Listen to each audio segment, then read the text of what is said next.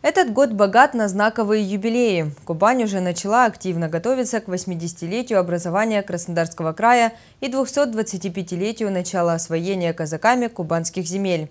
Эти две даты неразрывно связаны и переплетены между собой. Это одна общая неделимая история. Краснодарского края не было на карте России, если бы два века назад казаки не бросили якоря своих лодок у берегов Тамани – в преддверии памятных дат в нашем районе проводится районная патриотическая акция «Кубанское казачество. Верность, честь и слава». На этой неделе мероприятие состоялось в Забойском сельском поселении. В казачьем обществе Забойского состоит более 130 казаков. Одна из главных задач, которую они выполняют, это воспитание подрастающего поколения в духе казачьих традиций. Постоянно проводятся встречи казаков со школьниками, спортивные соревнования. Результаты этой работы уже заметны, говорит атаман казачьего хуторского общества Забойское. В Петровске наша команда выступала,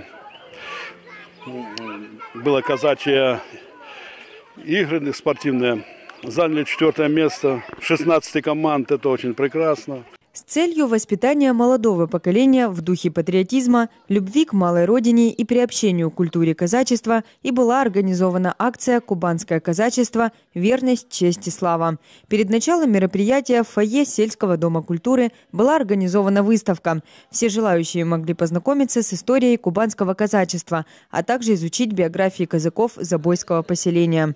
Культуру казачества, самобытность казаков в Забойском поселении стараются передать и через творчество. Так в этот день со сцены сельского дома культуры звучало много казачьих песен.